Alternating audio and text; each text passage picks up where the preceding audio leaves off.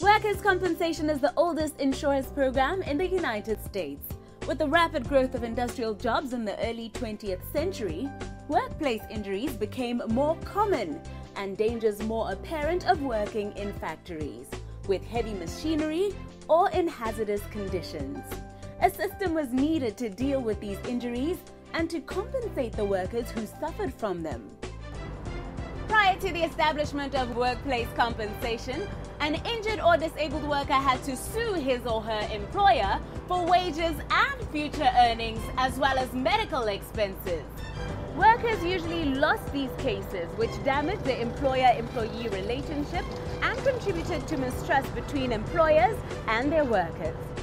Employers are frequently used three defenses in lawsuits by employees assumption of risk, the injury was from a normal and accepted danger associated with the job.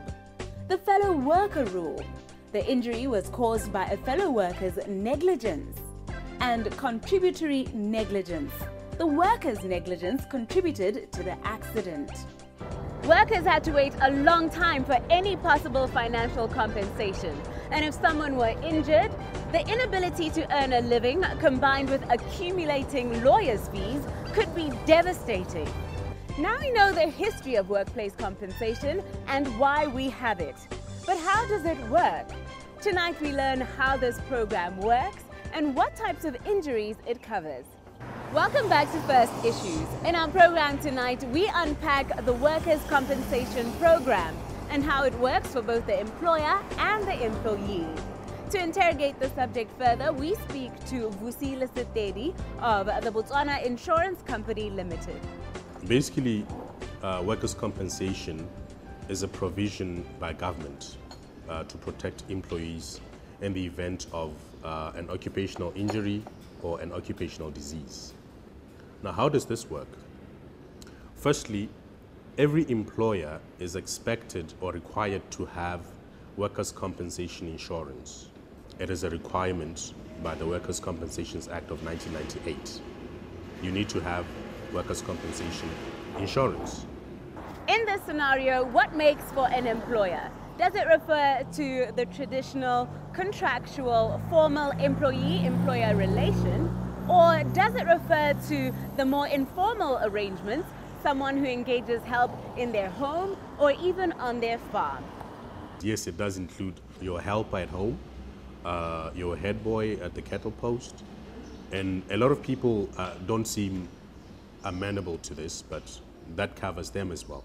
Every employer, and according to the Act, every employer means every person or every institution or corporate entity that pays uh, somebody to do work for them. So if you do that, you are an employer and you're expected to have workers' compensation insurance. What are the basic guidelines for claiming compensation as an employee? Well, obviously, when you get injured at work, you are the one that knows that you've been injured. Your employer might not know. Uh, as much as it is their duty uh, to ensure that you are compensated for every occupational injury or occupational disease, it is your duty to report such an injury um, to your employer your employer then is expected or required rather uh, to report the same to the Workers' Compensations Commissioner uh, at the Ministry of Labour. The employer is also required to notify the insurer uh, so that they know that there is a claim that they might have to settle. It's a long process uh, because after that injury, the employer issues an employee with a, an instruction to go and uh, be examined by a medical doctor. The medical doctor is also guided by uh, provisions in the Act uh, in terms of um, the level of incapacities, the percentages, and everything else.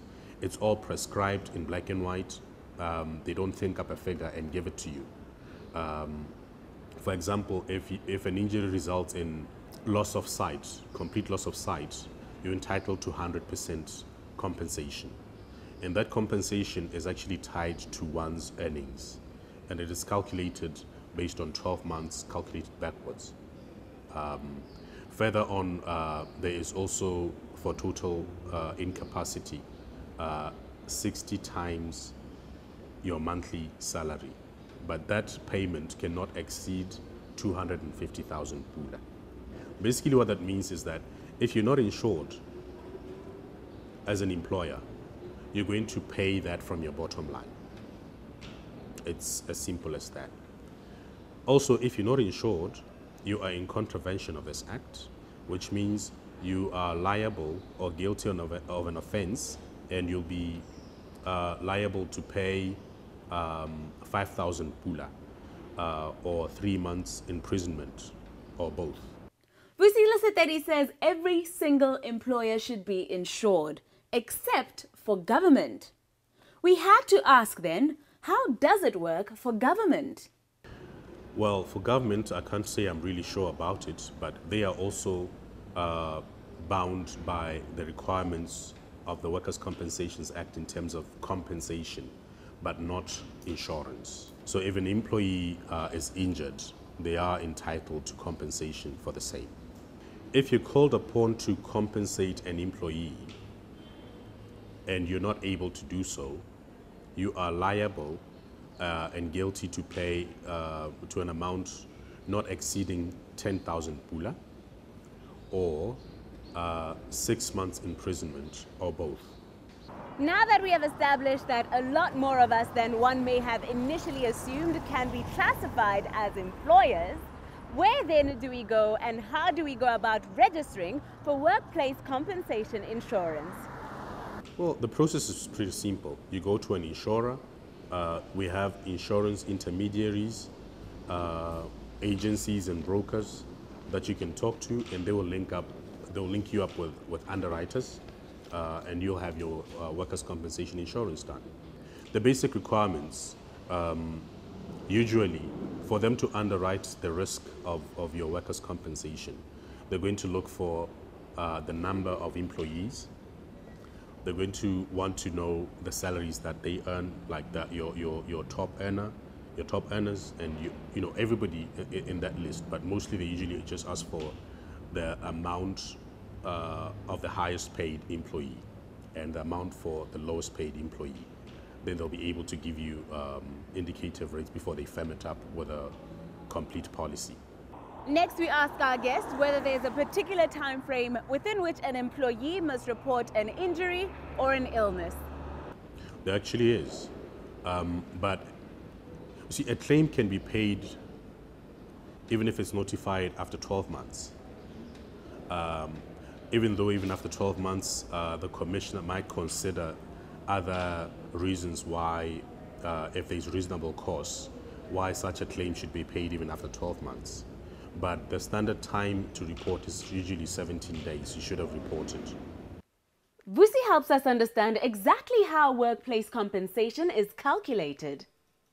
There is a schedule in the, in the Act that guides you. You see, when you submit um, a notification of, uh, of injury to the Workers' Compensations Commissioner, there's a form that you complete as an employer uh, that gives you where, where you detail the salary details of your employee for the last 12 months. It is based on that um, monthly salaries that, that, that, that calculation is going to be based upon. Yeah, there's also the, the, the medical uh, side where uh, an employer is going to pay for the recuperation or rehabilitation of an employee following uh, an injury and the employer is liable to pay for medical bills. What types of injuries can I claim for as an employer? Any kind of, of injury that incapacitates you. If, for example, uh, you're involved in a car accident and you lose this part of the finger, or like I said earlier, if you, you are, God forbid, blinded, uh, then you're entitled to compensation. The percentages are prescribed. There's a percentage for each of the different phalanges for each finger. There's a schedule for the index finger, the thumb, the middle finger, for the left hand, for the right hand. All of it is prescribed in the, in, in, in the Act to tell you 5%, 2%, 7%, and all of that. So it is that detailed. You don't need to go scrounging around. You just check the act. It will guide you as a medical doctor awarding or, or recommending that percentage because even after that percentage, it still goes to um, a medical board that is appointed by the minister uh, to oversee uh, such issues to say, yes, this is uh, in fact in order, or no, no, it is not, let's revise it, and then a proper award is made. And for the employer, is there a waiting period? How soon after an employer insures their employees can they start claiming from insurance? It is immediate. You insure your employees' workers' compensation. In the event of an injury, you submit a claim through the normal procedures that I've just talked about, and it will just go through the approval process, and if need uh, be, an employee is compensated. Vusi says an employee's workplace compensation benefits will not be affected by any other financial products an employee may have registered for. This is compensation, uh, and I must uh, uh, stress that it is not payment because you cannot really put a price to um, somebody's health or death or uh, loss of a limb. You cannot replace it really, even if uh, you, you use uh, artificial limbs. You cannot put a price on, on, on, on a life or on a, on, on a body part. So you will be compensated uh, irrespective of whether you have other insurances for life or for, for group life assurance that employers usually get as well uh, as an employee benefit uh, add-on for, for their employees. In the event of an accident, how is the evaluating physician selected? Is it someone of the employee or the employer's choosing? Following an injury, um, an employer will give you an instruction as an employee to go and see a doctor or a medical practitioner, uh, rather, uh, of their choice. They are responsible for paying your medicals up to not, not less than 75,000 pula. And that is separate from compensation. This is just for medicals. Up, not less than 75,000 pula. Uh, so they choose a doctor who will attend or examine the employee. Following such examination and recommendation of percentages in terms of uh, uh, compensation, an employee uh, if they're not happy with the assessment or the medical examination by the practitioner, they have the right to go for a second opinion, but they will be liable to pay for such medical expenses as shall be charged by that medical practitioner for the second opinion. Next, our guest informs us on what happens when the two physicians' reports do not correlate. There is usually a reconciliation. That is why we have the, the, the, the medical board uh, like I said, that is chosen or appointed by the minister. Uh, it comprises three medical uh, uh doctors. Uh, one of them is the chair, uh, a legal person, and a person knowledgeable of labor and employment issues. So they look at um, this issue and reconcile and then determine the, the, the actual award. Our guest says some employees suffer from a condition he has labeled compensitis. What does he mean by this? There's also instances where um, some employees might might have an ailment that I'll call compensitis, where they forge um, documents to say they, they, they were uh, injured at work or they aggravate an injury. Um, in such an instance, uh, the employer will not be liable to pay if you aggravate uh, uh, an injury as an employee. As we conclude our conversation, our guest informs us that an incident becomes a matter for workplace compensation insurance if it occurs on the work premises. But there are, however, exceptions. If um, you are employed based in, in, in Gaborone, as an example, and you are on a trip to Francistown, driving to Francistown, even if you're driving yourself, uh, even when you have a driver, uh, but you're driving yourself and you are involved in an accident. You, when you're driving to Francistown to work, you are actually working, you're on a trip, uh, so you are employed. It isn't the normal uh, line of, of your employment, so you are eligible for compensation. Welcome back to First Issues. Anchored in the middle of the Chobe River between Namibia and Botswana stands an intriguing local construct that offers the increasing responsible traveler market the amazing opportunity to dine unobtrusively in that beautiful environment. On it, old doors have been used as bar counters, the remnants of the hull of an old ship made into signage, the cutouts from that sign made into another, old canvas into a roof. 90% of it is entirely reused material. And now, fully operational, the restaurant maintains that no waste at all from their operations makes it into their surroundings. Good intentions have resulted into a noteworthy product. A desire not to waste materials from a ruined lodge resulted in the unique upcycling project that is the raft. And Cornelia Rotenbach is here to tell us all about it. Why was it important for you to keep this project eco-friendly and in which ways did you go about doing this? The main reason is its location, for starters. I mean, we're uh, not only are we uh, on the edge of the national park, but we're on a river that feeds the people. You know, there's fish, there's crocodiles, there's hippos, there's elephants, there's an enormous amount of bird life why wouldn't anybody want to keep it eco-friendly?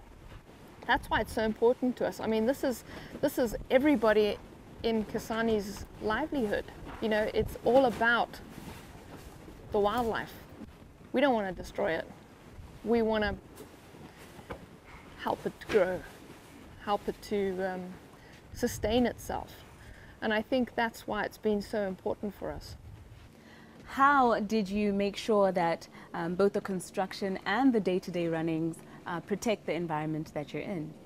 Well, for starters, everything pretty much on the raft has been recycled. It's probably about 90% recycled material that we've used to construct the raft. Um, we have a policy on here, anything that comes onto the raft has to go off. There's nothing that's deposited into the water. Even our uh, very basic toilets are porta potties that are then taken back to um, the lodge and disposed of in the lodge. Um, there's no running water, so even the dishes, you know, the dirty plates get taken back to the lodge to be washed. Um, and yeah, so there's nothing that goes, everything that goes onto the raft comes back off again. In an environment like this, that's probably the greenest you can go. We don't want to put anything in the water. I mean, there's, there's an enormous amount that you can spend on technology to recycle stuff that goes to process stuff, but it makes more sense taking it back to where it can naturally be um, disposed of. You've mentioned how uh, the unique positioning of the raft allows somebody to enjoy from where they're sitting um, the sights of Sedudu and the wildlife, as well as the cultural offerings of cows and fishing uh, from Namibia. How has the uptake been? Well, we've had a lot of um, changes. Um, you know, the concept's changed a few times. Um, the designs changed, the tables have changed, the even the kitchen um, area, the, the way that everything was going to be done was changed uh, several times. Um, but I think once we introduced the product to the people around and they actually realized that when you sit here, it's quiet. You can't hear anything. Every now and again you've got a boat coming past, but You've got elephants. I mean, there were elephants crossing right in front of us on our very first official lunch here. We had elephants crossing right in front of the raft. It was magical. We, I couldn't believe my, my luck. You know, I, ever since then, you know, that first introduction, I think it's just spread wildfire by word of mouth. We haven't, we've done a bit of marketing uh, for it, but pretty much everything's been by word of mouth clearly this is an evolving project um, from what you're learning as you go along. But where to from now? Is there anything else you're going to be changing in the near future? You know, we've realized that there's a few logistical problems that we're having, you know, for example, keeping ice cold in October. So, so you know, there's there's the likelihood of putting something in where we can keep our ice cold, um, possibly another level, serving counter level, but we still want to keep it as natural as possible. So, um, yeah, without evolving too much into a giant machine, we want to keep it simple yet effective. Ecotourism principles support educating the people you serve on the importance of keeping things eco-friendly. Um, is this something you've con considered when catering to your clients? It has been something that we've uh, we're playing around with. I mean, for starters, just the story of how it was built um, would be kind of fun to display somewhere on the raft to show people how easy it is actually to be eco-friendly without spending much money. Mm. Um, and um, and I think it's important to people. I mean, it certainly is an interest for those around. From what you've discerned, do the general public really care about this kind of issue, about eco-friendly ventures? Well, uh, certainly when I've been on the raft and people ask, how did you do this? You know, you say to them, okay, well, we've recycled this and we've recycled that and we've upcycled this and we've upcycled that. And they're like, oh, wow, that's really cool, you know? And I think in general, the world has come to expect people to be eco-friendly, especially in an, in an environment like this. Any last words as to the offerings that the raft gives um, to people? I'm sorry you weren't here for lunch to enjoy it with us. But yeah, the, the raft is an exceptional uh, and extraordinary activity in Kasane that, that Flame of Africa offers. And um, it's unique. It's across from the island. It's absolutely silent apart from the fishermen or uh, banana boats that come past. It's really a spectacular product. Cornelia and the Raft Project are just one example of the many individuals that are taking it upon themselves and gaining support from even government to further ecotourism projects. And we will be looking into these and other innovators and trendsetters in the coming weeks. Until then, from me, Nameto Sibina, the team behind First Issues, and our sponsors, First National Bank, we wish you a good night and pleasant viewing.